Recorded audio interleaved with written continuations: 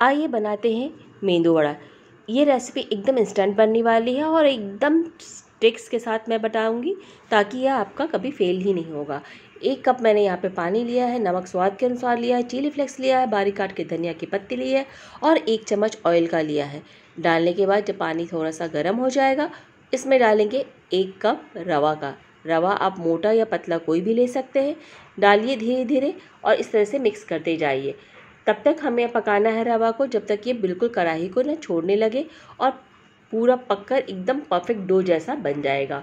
बिल्कुल भी कढ़ाई में नहीं चिपकेगा, इसका मतलब ये बन चुका है बिल्कुल इस तरह से। ये देखिए, हमारा ये रवा का डो जो है वो बिल्कुल बन चुका है। अब इसको ढककर पाँच मिनट के लिए रख देंगे और जब हल्का सा गर्म रहेगा, तभी हम एक बड़े बर्तन में निकाल लेंगे, इसमें दो चम्मच ऑयल डालेंगे और इसको धीरे धीरे मसल कर एकदम परफेक्ट सा डो बना लेंगे। बिल्कुल, इस तरह से, जैसे आप वीडियो में देख रहे हैं। इस तरह से आप मसलेंगे और इसमें मैंने थोड़ा सा बारीक काट कर कड़ी पत्ता भी डाला है ताकि इसका स्वाद और भी ज़्यादा बढ़ जाए। इस तरह से सेब दे दीजिए, जैसे आप वीडियो में देख रहे हैं। मेंदू वड़ा का बिल्कुल आसानी से हो जाता है और कोई भी टेंशन नहीं रहता है, ये टूटता भी नहीं है। इस तरह से आप सारे मेंदू वड़ा को बना लीजिए। उसके बाद एकदम गर्मा गर्म तेल में इसको हम तलेंगे।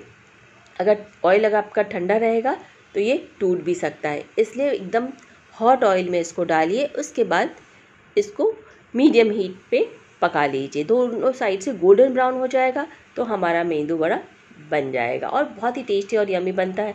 अगर आपको हमारा वीडियो अच्छा लगता है तो लाइक से सब्सक्राइब कीजिए। देखिए कितना यमी और टेस्टी बना था। एक बार ज़रूर ट्राई करें।